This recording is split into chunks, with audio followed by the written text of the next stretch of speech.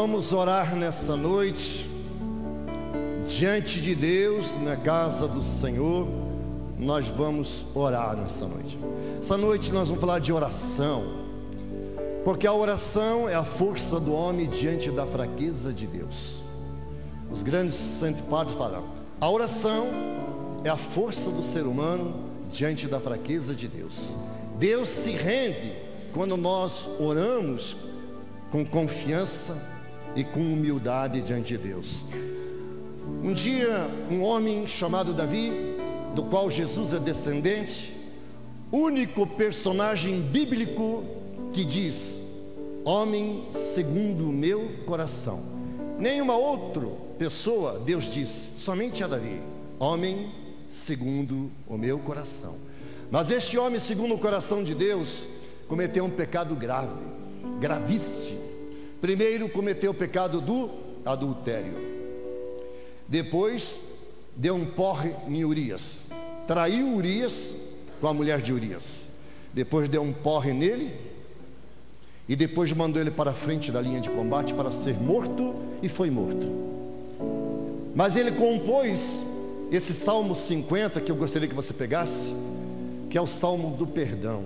Ele clama a Deus através da palavra de Deus, reconhecendo que ele é pecador, que ele pecou, que ele nasceu no pecado. E é isso que nós vamos orar nessa noite. Eu gosto em todo grupo de oração onde eu vou, a primeira atitude de alguém que você coloca diante de Deus, antes de pedir qualquer coisa, é o que? Reconhecer que é pecador. Por que, que muitas vezes nós não recebemos nada de Deus? Porque a gente é orgulhoso. A humildade é a porta aberta para que a graça de Deus aconteça na nossa vida. A humildade. E reconhecer que é pecador, isso tem que ter humildade. Dizer diante de Deus, Senhor, eu sou um pecador. Eu fiz o mal. Eu reconheço que eu fiz o mal. Então eu quero convidar você, meu irmão, a rezar na palavra de Deus. Quem não trouxe a Bíblia, ouça. Salmo 50, versículo 5. Eu gostaria que você orasse comigo. Eu reconheço a minha iniquidade. Iniquidade significa o quê? Pecado. Vamos, continuamos. Diante de mim está sempre o meu pecado. Só contra vós pequei. O que é mal fiz diante de vós. Vossa sentença assim se manifesta justa e reto é o vosso julgamento. Eis que eu nasci na culpa, minha mãe concebeu-me no pecado. Não obstante, há mais a sinceridade de coração, infundi-me, pois, a sabedoria no mais íntimo de mim, aspergir-me com um ramo de sope e ficarei puro, lavai-me e me tornarei mais branco do que a neve, fazei-me ouvir uma palavra de gozo e de alegria, para que exulte os ossos que trituraste. Dos meus pecados, Senhor, desviai os olhos, e minhas culpas todas apagai. Ó meu Deus, criai em mim um coração puro, e renovai-me o espírito de firmeza. De vossa face não me rejeiteis, e nem me preveis de vosso Santo Espírito. Coloque a mão no seu coração. Quem tem a, Bíblia aberta, vai meditando esses versículos. Eu peço a você, meu irmão, você, minha irmã, suplicar a misericórdia de Deus. Você que não trouxe a palavra de Deus, vai dizendo no teu coração: sim, Senhor, eu sou um pecador. Eu reconheço diante dessa igreja aqui reunida, Senhor, diante dessa assembleia, diante de Ti, Senhor, que eu sou um pecador. Eu tenho caído constantemente nos mesmos pecados, nas mesmas fraquezas. Que você seja livre para nessa noite colocar diante do sacrário de Jesus o pecado que tem te afastado do amor de Deus, o pecado que tem te isolado. É tanto que o profeta Isaías, no capítulo 59, diz: O pecado impede a nossa felicidade, porque o pecado é dizer não para Deus. Talvez aquele pecado que tenha atacado a tua mente, talvez até mesmo o ódio, a raiva que está no seu coração, talvez aquele pecado de adultério, de fornicação, de inveja, de poder, de egoísmo, coloque aos pés de Jesus. Diga, Jesus, eu quero nessa noite renunciar. Coloco a teus pés, Jesus, para que você se disponha deste pecado. Porque eu desejo, Senhor, a minha santificação. Eu renuncio nessa noite, pelo poder do teu nome, Senhor Jesus, pelo poder da tua palavra, pelo poder do teu sangue redentor, pelas tuas santas chagas. Eu renuncio o pecado que está em mim. Mais uma vez cantando. Renova-me,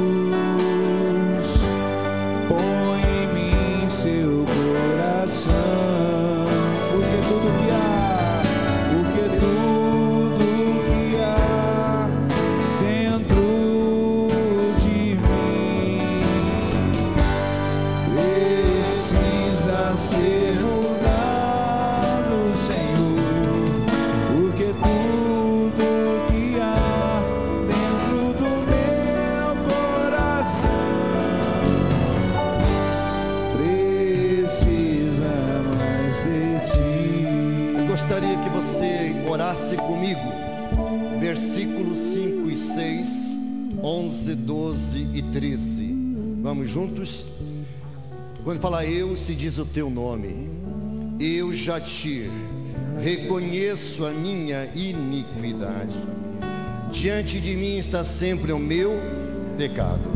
Só contra vós pequei. O que é mal fiz diante de vós. Vossa sentença assim se manifesta justa, e reto o vosso julgamento. Dos meus pecados desviai os olhos, e minhas culpas todas apagai. Ó oh, meu Deus, criai em mim um coração puro e renovai meu espírito de firmeza. De vossa face não me rejeiteis e nem me priveis de vosso Santo Espírito. Eu quero convidar você a ficar em pé, deixa a tua Bíblia do lado. Pega essa pessoa que está ao seu lado, não precisa abraçar, abraçá-la no momento, não, mas diga para ela, olhando para ela, diga: Olá, eu sou um pecador. Eu reconheço o meu pecado. Agora dá um abraço nessa pessoa e diga: Olha, Deus ama muito você. Deus ama muito você. Fala, Jesus não veio para te condenar. Jesus veio para salvar você. Se você reconhecer que é pecador, Ele veio para salvar. Jesus não veio para condenar ninguém. Amém? Quem aqui precisa de graça de Deus nessa noite, levante a mão. Você tem orado muito pedindo essa graça ou não? Qual é o tamanho da tua oração? Porque diz: Nós somos o que oramos. Somos o que oramos. Amém? Somos o que rezamos. Existe um santo chamado Afonso de Ligório, que fundou aquela congregação lá de Aparecida do Norte. Santo Afonso de Ligório, ele escreveu três livros. Eu não estou fazendo propaganda dos livros dele, não, por favor, não, que ele nem me conhece. Tá eu também não estive no tempo que ele foi santificado, então ele nem sabe que eu existo. Mas ele escreveu lá: Práticas do Amor de Cristo, Glórias de Maria e um livro sobre a vida de oração. Em tudo que é lugar que a gente vai, a gente fala de tudo, menos de oração. E esse santo ele diz: aquele que reza se salva, e quem não reza se dana. Não existe salvação sem vida de oração, porque a oração nos leva a ter intimidade com Deus. Como eu vou ter intimidade com Deus se eu não rezo? Então, se você precisa, você levantou a mão, diz que precisa do milagre, né? Quem precisa de um milagre? Levante. Então, pega o salmo vizinho dos 50 ao 49, versículo 14 e 15. 49, versículo 14 e 15. Oferece antes a Deus um sacrifício de louvor e cumpre teus votos com o Altíssimo. Se a minha oração de petição não funciona, começa a louvar a Deus. É louvando a Deus que o amor de Deus se manifesta. Infelizmente, nós só sabemos pedir, só pedir. E pedimos muito mal. Às vezes a gente pede muito mal, pedimos aquilo que nós não merecemos e não necessitamos, e é por isso que a gente não recebe. Então diz a palavra: oferece antes a Deus um sacrifício de louvor e cumpre seus votos para com o Altíssimo. E aqui diz então no outro versículo: invoca-me nos dias de tribulação, e eu te livrarei, e tu me darás glória. Então vamos pedir a Deus agora. Levante as mãos. Pede a Deus o que você precisa, solte a tua voz, abre o teu coração, que eu não vou pedir por você. Vai pedindo, solte a tua voz, diga: Ó oh, Senhor, eu estou aqui, Senhor, para pedir pela minha cura, pela minha libertação. Vai pedindo qual é a necessidade que você quer, qual é a graça, qual é o milagre que você precisa. Pede a Deus, abre a tua boca, abre o teu coração, diga: Sim, Senhor, eu estou aqui. Se você não tem fé suficiente, eu tenho dúvida, meu irmão, diga para ele: Senhor, eu tenho dúvida que você pode realizar esse milagre na minha vida. Sim, Senhor, eu tenho dúvida, Senhor. Eu não tenho fé suficiente, mas eu estou aqui nessa noite para clamar a tua misericórdia, Senhor. Eu preciso desta libertação. Eu preciso de um emprego novo. Ou eu preciso, necessito de um trabalho, um salário justo. Eu preciso, Senhor, pela restauração do meu matrimônio. Eu preciso dessa graça em favor dos meus filhos. Sim, Senhor. Eu estou aqui clamando, Senhor, agora pelo poder do teu nome. Vai dizendo sim, Senhor Jesus, pelo poder do teu nome, pelo poder do teu sangue precioso redentor, pelo poder da tua palavra, pelo poder da tua misericórdia, Senhor. Eu estou aqui clamo, Senhor, eu te suplico, Senhor, vinde em meu favor, Senhor. E nós podemos ir glorificando, louvando a Deus agora. Glorifica ao Senhor, mas levante os braços, meu irmão. Levante os braços, vai glorificando, diga assim, Senhor, eu quero te louvar nessa noite. Eu quero te bendizer. Eu quero te dar glória, Senhor, porque tu és um Deus maravilhoso. Tu és o Deus de, de Abraão, Jacó, Isaac, Senhor. Eu te louvo, Senhor, te bendigo, Senhor, porque tu és o Deus do perdão. Cantando, louvando e glorificando. Eu te louvarei, Senhor,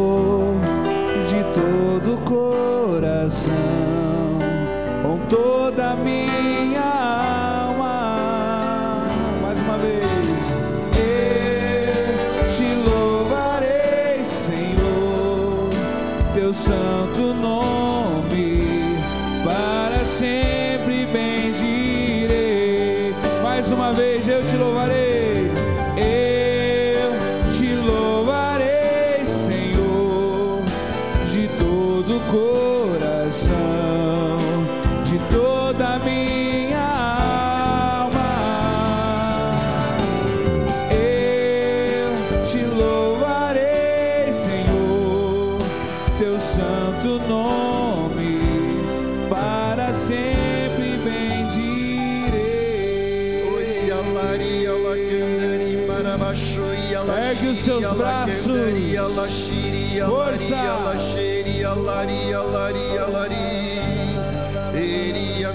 andara balakiri, alamaxo, e alabaqui, andara marabaxi, alari, alari, alari.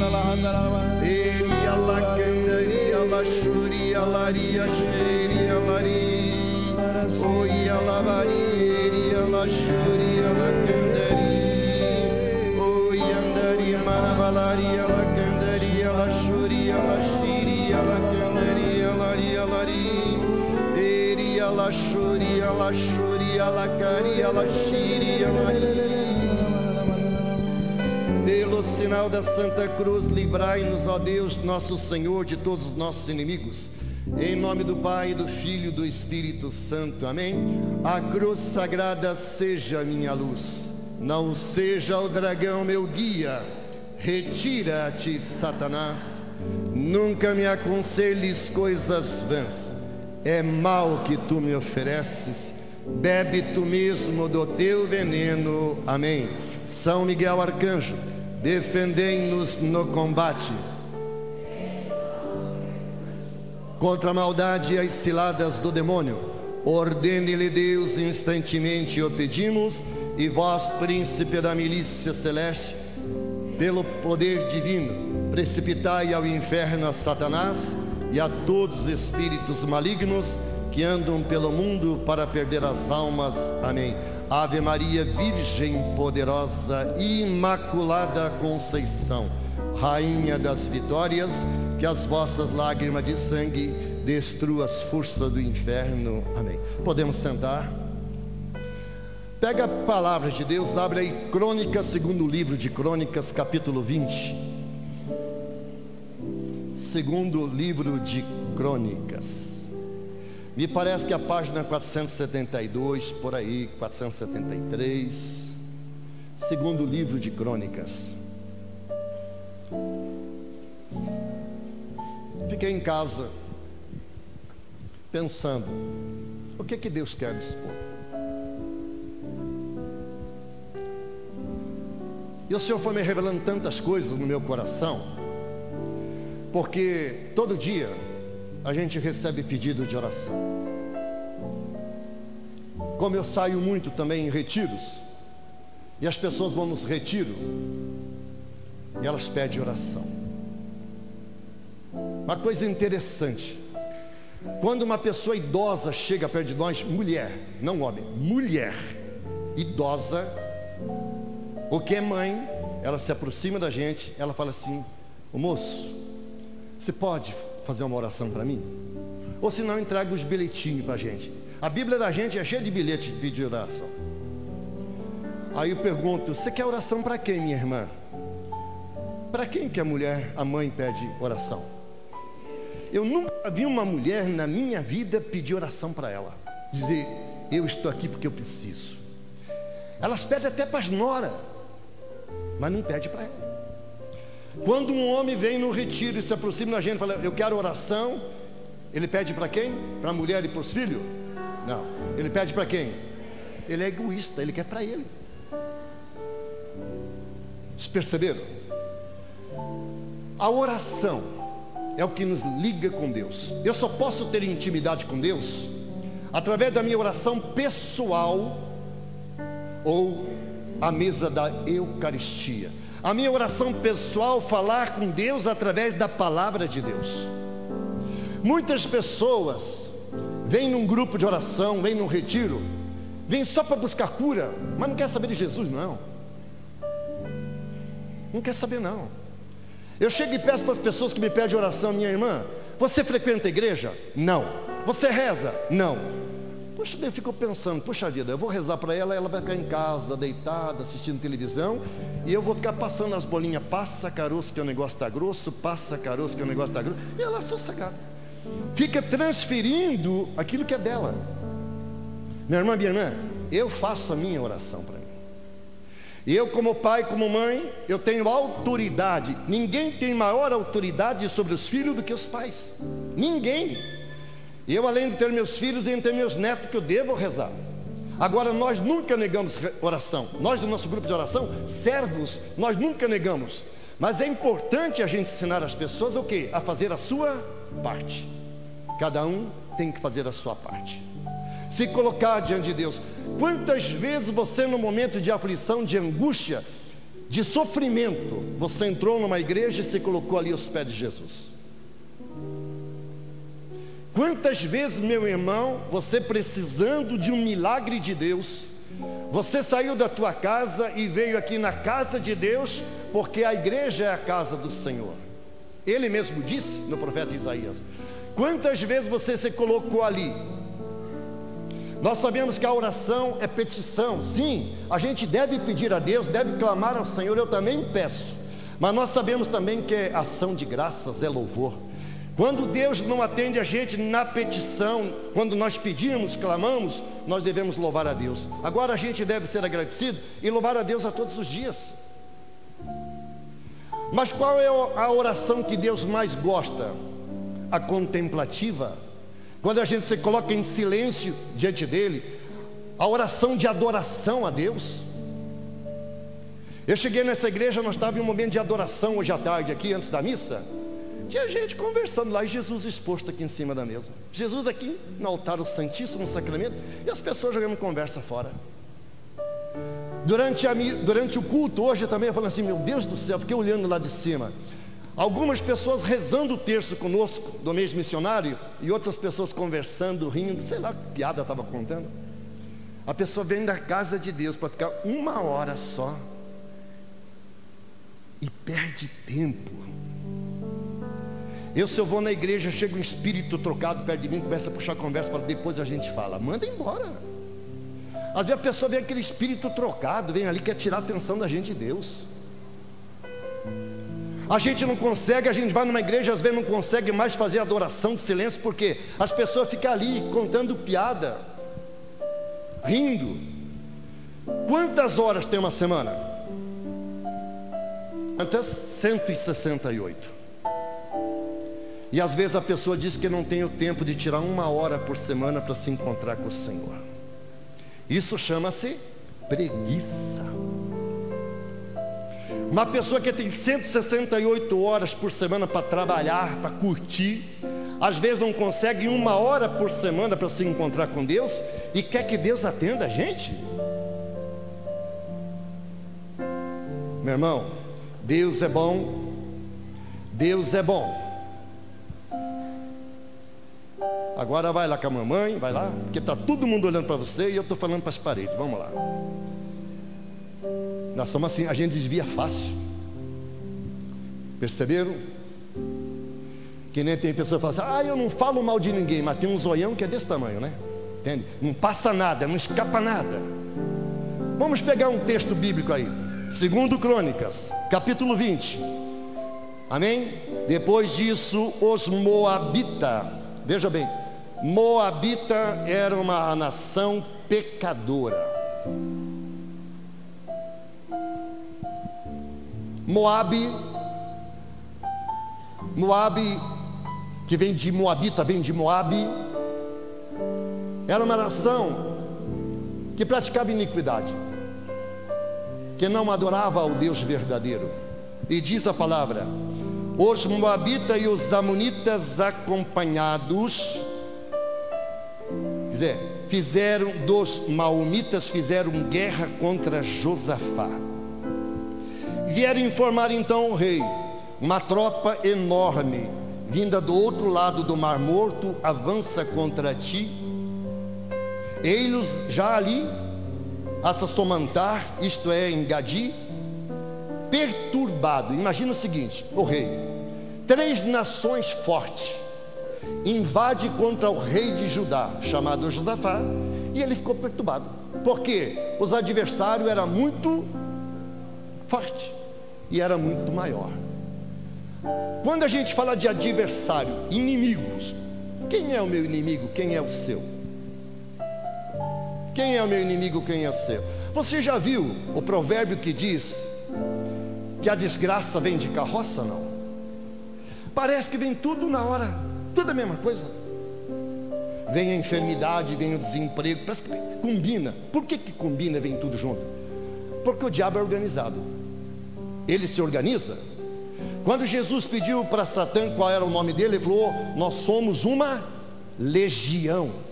São Paulo também disse: Nós não lutamos contra homens de carne e sangue, mas nós lutamos contra quê? Forças espirituais esparramadas pelos ares. O inimigo ele se organiza para atacar a gente certinho. Todos eles atacam no mesmo instante, porque sabe que nós ficamos o quê? Fragilizados.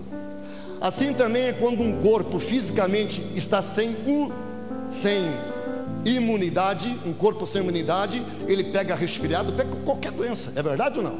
Porque está sem imunidade.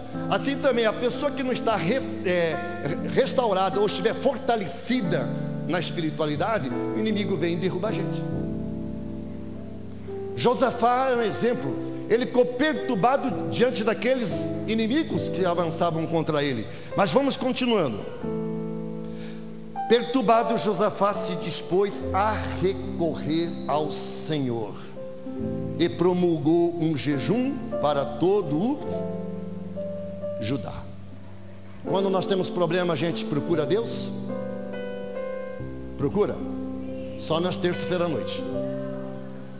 A gente vem aos pés dele, fala para ele: Eu estou com esse problema. Eu muitas vezes venho aqui nessa igreja, eu não falo nada, eu só olho para ele. Eu só olho para ele daqui, ó. Sento aqui, fica aqui de joelho. Sento, olho para ele, ele olha para mim. Eu falo do silêncio. A gente não precisa gritar, porque Deus não é surdo. Inclusive tem alguns irmãos evangélicos que acham que Deus é surdo. Você passa perto da igreja deles, aquela gritaria, Deus não é surdo, não. Deus ouve a nossa lágrima. Josafá, rei de Judá, vai recorrer ao Senhor. Procura a Deus para quê? Para que Deus livre ele daquela situação. Então diz a palavra: e ele promulgou um jejum.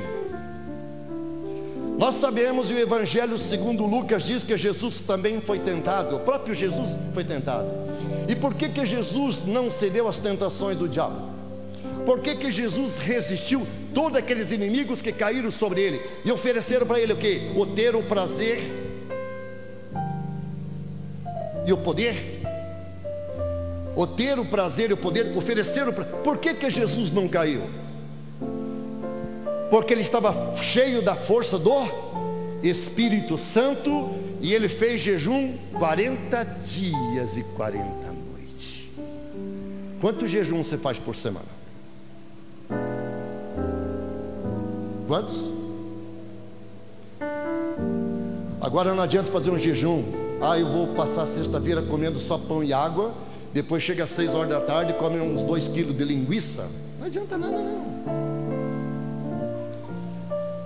Uma vez um irmão nosso lá de Guarapuava, de um grupo de oração, fez jejum também. Fez jejum. O Roberto fez jejum. À tarde comeu duas voltas de linguiça e foi para o grupo de oração. Chegou lá no grupo de oração, deu uma manifestação, e a pessoa que teve aquela opressão maligna, e ele foi lá, ele é gordinho, foi lá. Em nome de Jesus, não sei o que. O mal que estava naquela mulher falou: O que, que você quer, gordinho? Com essa barriga cheia de linguiça, o que, que você quer? Quem você pensa que você é? Meu irmão, minha irmã, fazer jejum, hoje tem um jejum ótimo para fazer. Que não, é, é, não precisa, até pode comer. Tem um jejum excelente para fazer. Ficar um dia sem o teu celular.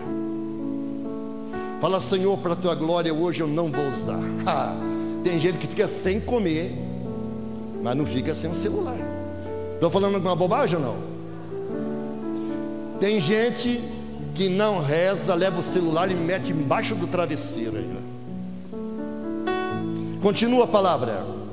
A população de Judá reuniu-se para invocar o Senhor. De todas as cidades de Judá, o povo acorreu para invocar o Senhor.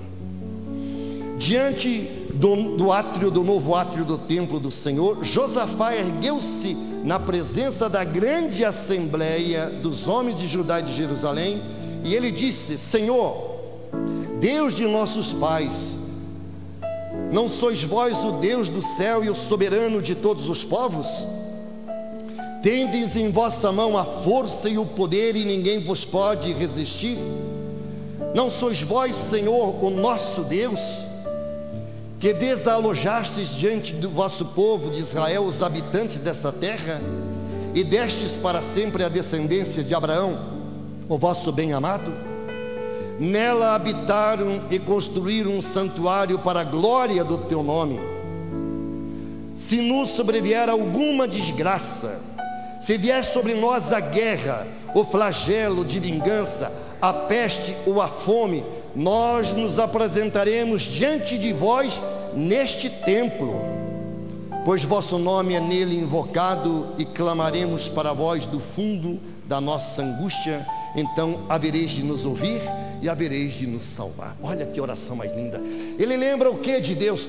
Que o Deus é o Deus poderoso, o Deus de Abraão, o Deus de Isaac, o Deus de Jacó. Sim, Senhor, Tu és o Deus Altíssimo.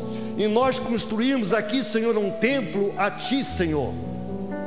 E tu mesmo disse que nos momentos de guerra, de aflição, de enfermidade, de angústia, de apavor, de abatimento, é para virmos aqui na tua casa e aqui nós vamos falar contigo e você vai nos ouvir e que você vai nos atender, Senhor. Ele lembra a Deus quem é Deus. Só que nós, ao invés de falar a Deus os nossos problemas, nós falamos para quem? Para os nossos amigos, vizinhos, pessoas que não podem nos ajudar. Nós ficamos choramingando as pessoas. Pode pedir para o nosso grupo de oração, se no WhatsApp do, do nosso grupo alguma vez eu pedi oração para mim. Ou para mim. Eu não peço, eu rezo. Mas é muito mais fácil a gente pedir para os outros.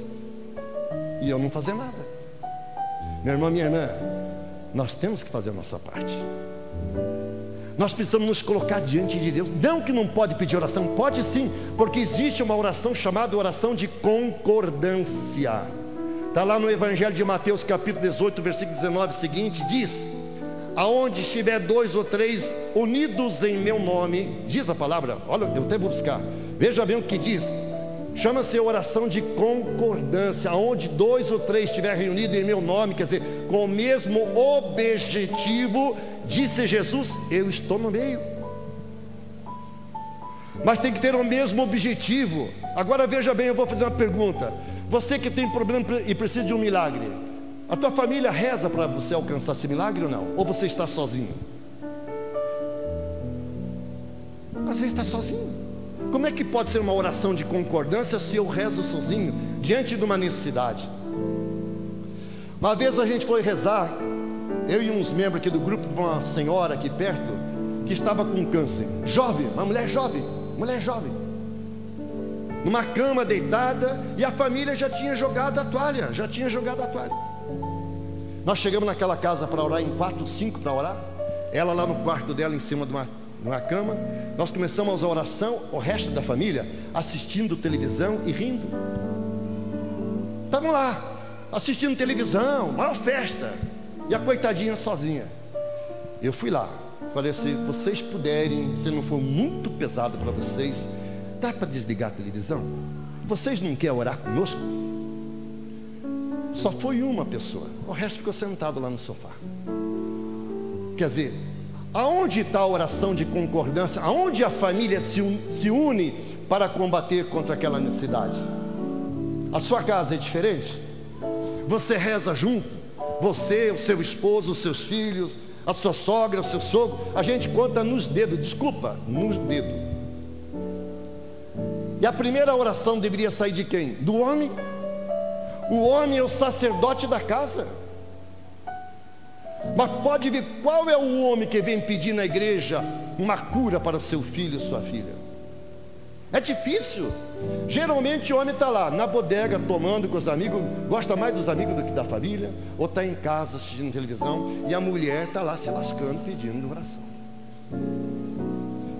A oração, meu irmão, minha irmã, da mesma maneira que a, que a terra precisa de água para gerar frutos, a alma precisa da nossa oração.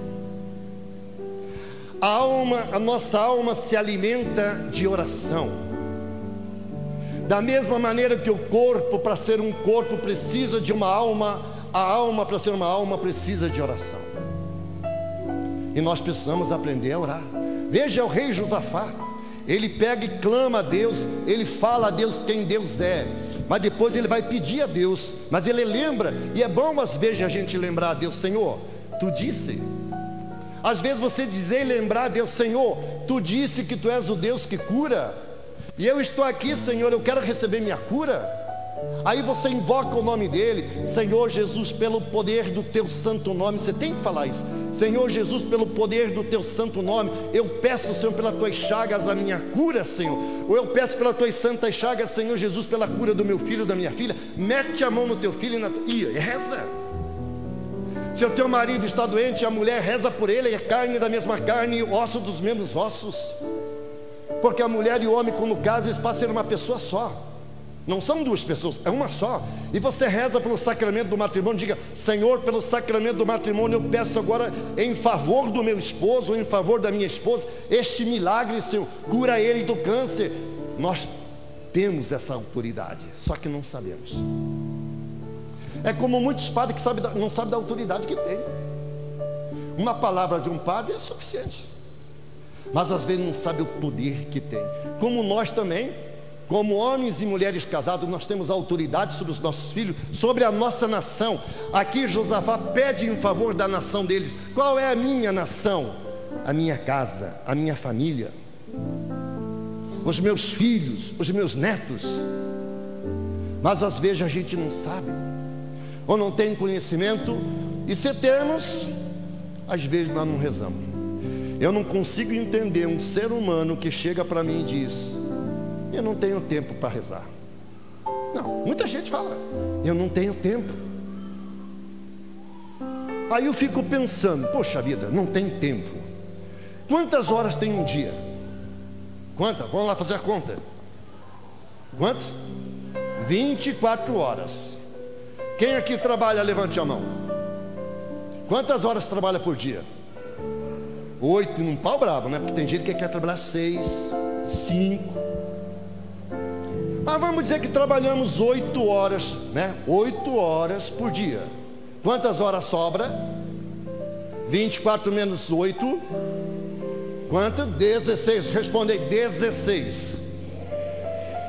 Quantas horas a gente dorme por dia? Oito, olha que dormir oito horas é dormir, hein? Olha, eu não consigo, hein? Então eu trabalho oito horas, durmo oito horas, quantas sobra? E o que que você faz nessas oito horas? Não precisa responder para mim, responda para você. O que que você faz? Para dizer eu não tenho tempo, usa melhor o tempo. O evangelho de hoje, que fala de Marta e Maria, Marta também não tinha tempo. Marta aqui, ó, para lá, para cá, cuidando com as coisas, vai para cá. E Maria fez o que, a irmãzinha dela? Aos pés de Jesus. Como é que ela tinha tempo para ficar aos pés de Jesus? Marta preocupada com não sei o que, com o trabalho, aí não tenho tempo, não tenho o que. Aí Jesus fala, Jesus foi carinhoso com ela. Jesus não gritou com ela, falou: Ah, Marta, Marta, tu te preocupa com muitas coisas. Olha para Maria, ela escolheu a melhor parte dizer que eu não tenho tempo para rezar, acorda de madrugada.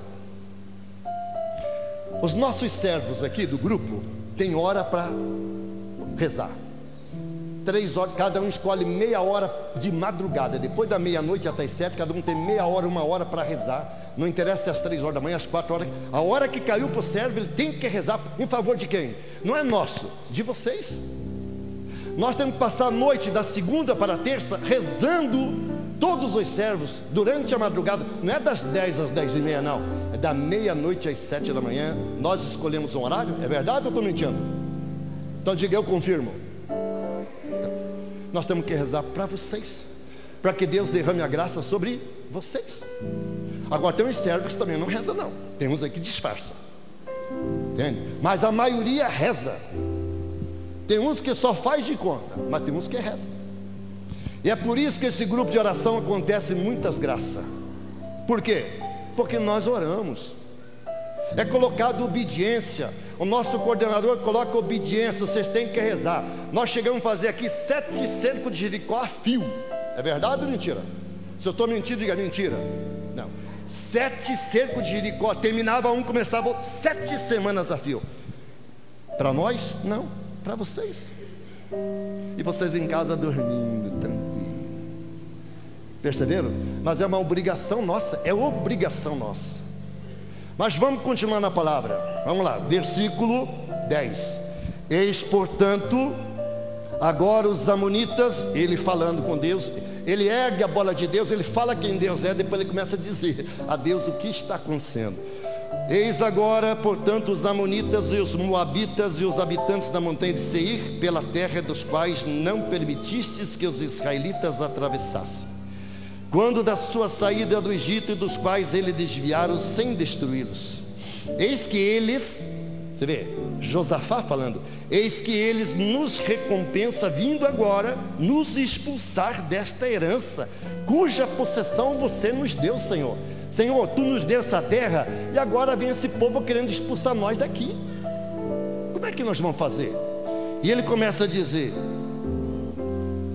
O nosso Deus Ó nosso Deus, não exercereis sobre eles vossa justiça, pois a força nos falta diante dessa multidão que avança contra nós.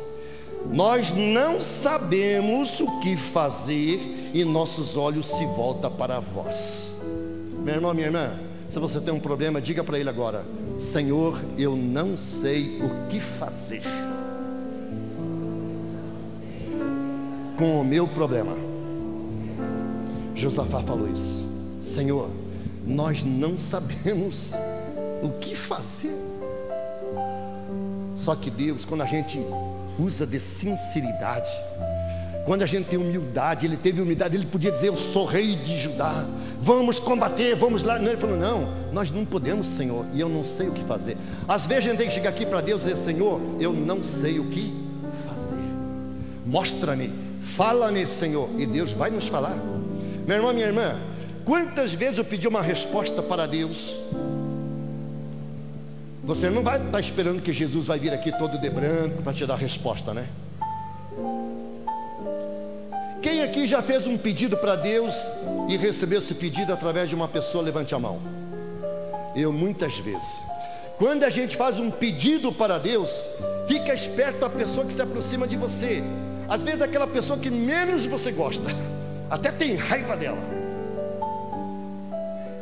Aquela pessoa vem e dá a resposta que você precisa. Só que você não acredita porque você tem raiva dela. E Deus usa quem Ele quer, quando Ele quer, como Ele quer, para nos falar. Eu me lembro uma vez que Deus me deu a resposta do que eu queria através de uma pessoa que era macumbeira. Eu fui falando com essa pessoa, ela me falou umas coisas, eu falei, meu Deus do céu, é o que eu precisava ouvir de Deus. Aquela mulher, Deus não, não gostava do que ela fazia, mas ela é filha de Deus. E às vezes a gente tem o que? Restrição. A gente coloca barreira nas pessoas. E Deus usa essas pessoas. Então a gente tem que estar bem sensível para ouvir Deus falar. Porque Deus não vai vir aqui todo de branco, com manto vermelho atravessado no peito, cabeludo, barbudo, sandália. Não. Ele fala através das pessoas. Continuando, versículo 13: Toda a população de Judá lá estava, de pé, diante do Senhor com suas crianças, suas mulheres, seus filhos. A população estava onde? De pé. Como é que você reza? Deitado. Tem gente que tem problema embaixo das cobertas. E às vezes ainda assistindo televisão, a TV ligada, que eu não posso perder então o que está passando ali, e eu fico aqui rezando, não sabe nem onde está. Pega o tercinho na mão, vai passando, passando, não sabe nem que, aonde, qual é o mistério do terço. Você já rezou alguma vez? Não, só não levanta a mão, fica, fica chato, fica feio. Já rezou assistindo televisão?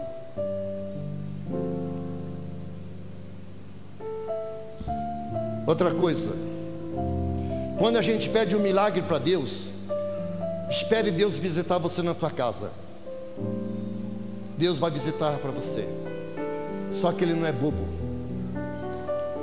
Muitas vezes a gente quer um milagre, muitas vezes a gente quer um emprego bom, ganhando bem. Ah, Senhor, eu quero um emprego para ganhar 20 mil por mês. Ah, Senhor, eu quero um emprego, eu quero ter um carro novo, eu quero ter não sei o quê. E Jesus, ele se disfarça. Ele vai lá, lá na nossa casa. Sabe que Jesus vai chegar lá em casa lá? Também todo de branco, cabeludo, barba. Não. Ele vai disfarçado. Ele se veste do quê? Pedinte. Pobre. Miserável. Vai lá e bate na nossa casa. Aperta a campainha. E tem algumas mães que ainda ensinam os filhos mentirem. Vai lá e diga que a mamãe não está. Criança inocente, coitadinha, vai lá. A mamãe mandou dizer que ela não está. Aí Jesus vira as costas, vai embora e fala assim: diga para ela que eu também não vou atender ela, ok? Só faltava ele responder isso. Esses dias à noite, meia-noite, faz tempinho, uns 90 dias, meia-noite apertada a cama lá em casa, eu estava dormindo. Olhei pela janela um, um cidadão. Oi, ele gritou para mim: Rapaz, me arruma uma coberta para mim. Eu falei para minha mulher: Bem, tem uma coberta. Minha mulher, mais que rápido, falou: Eu já dei tudo para os freizinhos. Eu falei: Ah, bem, faz favor. Deu tudo para os freizinhos. Ela falou assim: Bem, cuidado, pode ser um assaltante. Eu falei: Pode ser. E se é Jesus? Não, pode ser um assaltante. E se é Jesus? Eu levantei e falei: Espera aí só um minutinho. E fiquei catando, vendo que achar uma, uma cobertinha para dar para ele. Eu falei: Espera aí, espera aí. Fui lá, catei a cobertinha fui lá. Ele tinha ido embora. Se for Jesus, ele sabe que eu fui buscar. Se for assaltante, mas ele sabe, ele viu que eu fui buscar. E às vezes a gente acha essa desculpa, não, porque agora todo mundo é assaltante, então vem lá quer um prato de comida e eu não dou. E Jesus fala também. A hora que você vai lá né, pedir lá no grupo de oração, também não vou te atender. Porque eu fui na tua casa e não me atendeu. Vocês estão entendendo, irmãos? Deus testa cada um de nós. Continuando. Então, no meio dessa grande multidão, aqui fala, veja bem, toda a população de Judá lá estava de pé diante do Senhor com suas crianças, suas mulheres e seus filhos. Meu irmão, minha irmã, você que é chefe de família, pai e mãe, reúne a tua família e reze. Põe as crianças para aprender também. Vamos rezar todo mundo. É o que aconteceu. Mas Deus veio em favor de Judá. Por quê? Promulgou um jejum e colocou todo mundo em oração. Se a criança, teu filho não sabe rezar, manda pelo menos ficar quieto. Fica quietinho enquanto a gente reza. Perceberam? Porque criança não fica quieta. Mas manda. Agora não. Agora você não, quer, você não sabe rezar? Então, quietinho. Agora, o marido e a mulher, eles devem orar junto. Fazer o combate junto. E o combate que eu faço na minha oração, eu só posso parar quando? Quando eu alcançar o quê? O milagre que eu vim buscar. Pode demorar um mês, pode demorar dois meses, mas eu devo rezar, eu devo ser perseverante na minha oração, combatendo, combatendo até alcançar o milagre. Não é rezar uma Ave Maria e desistir. Quantas vezes eu saio deste grupo de oração, vou pregar em outros grupos, chego lá e encontro muitas carinhas aqui. Por quê? Porque aqui acabou a, a campanha, começou a campanha lá, então fica passando de campanha em campanha e não alcança nada. Porque Deus conhece. Você vai lá, tem cerco Jericó, ah, não sei aonde, a pessoa está lá. Mas vai lá, sabe para quê? Para buscar o milagre. Deus conhece o nosso coração. Eu quero concluir aqui. Então, no meio dessa grande multidão, o Espírito do Senhor apoderou-se de Jaziel, filho de Zacarias, filho de Banaías, filho de Giel, filho de Matanias, um levita da linhagem de Asaf. E Deus diz para ele: Prestai atenção, disse ele, homens de Judá e de Jerusalém, e tu, rei Josafá, eis que vos diz o Senhor: Não temais, não tenhais medo, não vos deixeis atemorizar diante dessa multidão imensa pois a guerra não compete a vós, a guerra compete ao Senhor. É o que diz a Sagrada Escritura. Ele usa alguém para dizer para Josafá: Josafá, não se preocupe. No momento em que você clamou, no momento que você pediu, esta guerra, este combate já não pertence mais a vocês, pertence ao Senhor. Meu irmão, minha irmã, quando eu clamo a Deus, eu clamo com confiança a Deus, Deus já está lutando por mim. E ele diz: Não tenhais medo. Quando ele fala não tenhais medo, significa confie. Confia no Senhor, porque esta guerra já não compete mais a nós, mas a Deus. Amanhã, diz a palavra, amanhã ireis descer para atacá-los. É Deus falando: amanhã eu vou descer para o campo de batalha, eu vou lutar no lugar de vocês. É Deus falando, e Deus quer falar para mim e para você também, irmão. Deus quer lutar em meu nome no momento que eu entrego para Ele a minha situação. Mas não é, é, entregar e pegar. Muita gente vem aqui, entrega com a direita e depois, a hora que sair da igreja, leva com a esquerda. Não. Entregou no coração de Deus, coloca dentro da chaga aberta do seu peito, fala: Senhor, quantas vezes eu peguei e coloquei meus pedidos dentro da chaga aberta de Jesus? Coloca dentro da chaga, fala, Senhor, tu diz que, que pelo poder da tua chaga eu sou um curado, não tenha medo não de enfiar o dedo dentro da chaga de Jesus, fala, Senhor, eu coloco essa necessidade, eu coloco, Senhor, este milagre que eu preciso, dentro da tua chaga aberta, Senhor, fala, mas fala com confiança, eu vi agora à noite nós louvando a Deus aqui, que louvor maravilhoso, vocês viram que louvor não? Tremeu este lugar aqui, né? Eu não vi.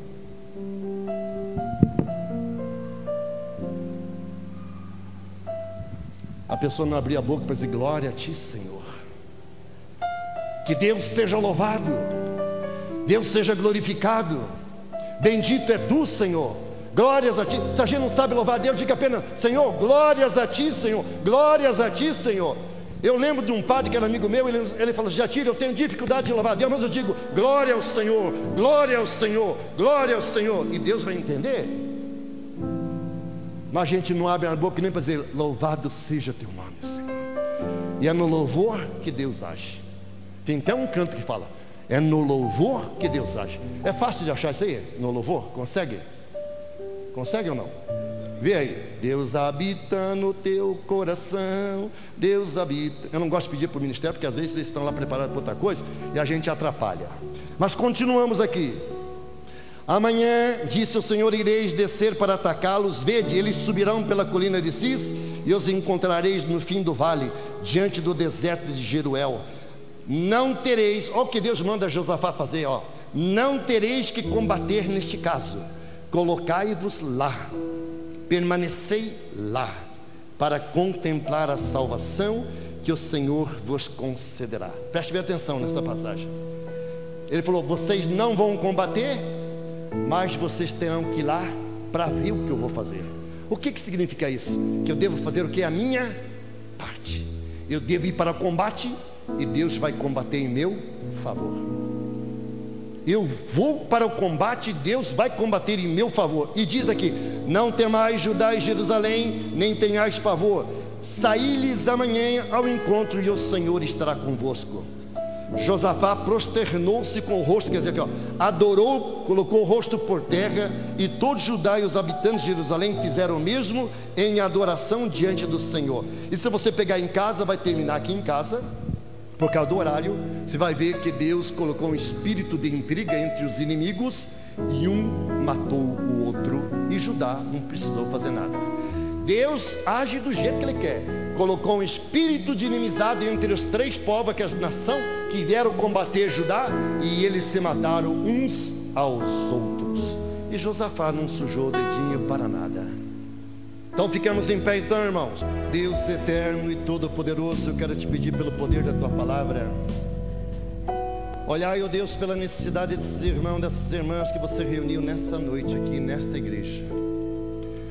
Eu quero proclamar a tua vitória sobre a vida de cada um desses irmãos, sobre toda e qualquer enfermidade física, espiritual, emocional e mental. Coloque a tua mão, Senhor Jesus. Tu mesmo diz que tu és o Deus que cura, o Deus que liberta e o Deus que salva. Olhai, Senhor, por todas essas enfermidades. Basta um sopro Basta o hálito que vem da tua boca, Senhor, para que a cura aconteça. Olhai para aquelas pessoas, Senhor, que estão com necessidades, que você reuniu nesta noite aqui em teu nome. E nós sabemos, ó Deus, que quando você nos reúne no teu nome, ninguém volta para casa de mãos e coração vazio. Preenche o coração desses irmãos e dessas irmãs com a tua misericórdia. Derrama do teu bálsamo de amor, Senhor, sobre esses irmãos essas irmãs. E eu proclamo a vitória de Deus em vossas vidas, em nome do Pai, do Filho e do Espírito Santo. Amém. Amém. Vamos orar por esses pedidos. Eu queria pedir Alguém que precisa de um milagre muito grande de Deus, que viesse aqui ajudasse a orar por esses pedidos aqui. Alguém que precisa de um milagre, uma cura mesmo, difícil, que precisa de um milagre, que você venha orar por essas pessoas, essas pessoas que estão precisando aqui. Quem precisa de um milagre aí? A matemática de Deus é assim: quem pede recebe, quem busca acha, quem dá recebe. Quem dá recebe. Se você precisa, então vamos colocar a mão e nós vamos pedir para esses pedidos. Isso, coloca a mão com bastante confiança. Que às vezes a gente acha que só os servos têm autoridade. Não. Se você precisa, nós vamos orar por esses pedidos. Você diz assim, se você não sabe dizer, fala, Senhor, eu clamo em favor desses pedidos que aqui estão, Senhor. Olhar pela necessidade deles. Tenha compaixão, tenha misericórdia, Senhor. Levanta teu braço poderoso agora, Senhor. Que a tua palavra que foi revelada nessa noite, Senhor, em favor de Josafá, seja agora em favor desses irmãos e dessas irmãs.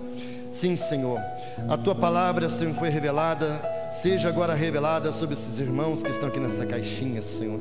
Esses pedidos que aqui nós vos apresentamos, você conhece cada um deles, Senhor. Mas nós clamamos agora e nós te louvamos, já nós te bendizemos, confiantes, Senhor, confiantes que você já está agindo, Senhor, agora, Senhor. Sobre esses pedidos, nós queremos render louvores a Ti, Senhor. A Ti toda a honra, todo o poder, toda a glória e todo o louvor. Ori alashiri alakandari maracai alashuri alakandari ashuria. Sim, Senhor, exaltado seja, bendito seja agora e para sempre o Teu santo nome, Senhor. Nós te adoramos e nós te bendizemos, que ele, pelo poder da Tua santa cruz remistes o mundo, Senhor. Ori alashi alakandari baracai alashuri alakandari ashuria. Proclama comigo agora, Senhor Jesus, nós proclamamos a tua vitória sobre esses pedidos. Glória ao Pai, ao Filho e ao Espírito Santo. Que Deus abençoe vocês. E confie naquilo que vocês fizeram agora. Amém?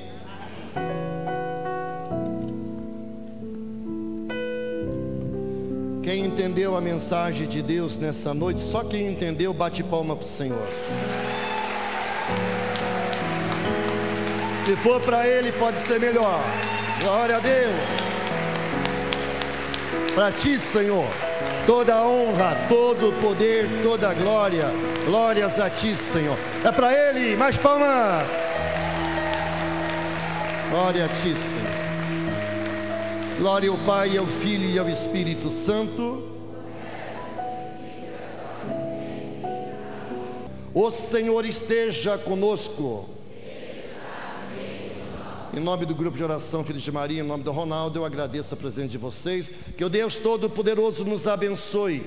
Ele que é Pai, é Filho e é Espírito Santo. Amém? Vamos em paz e o Senhor nos acompanhe. Graças, Graças a Deus.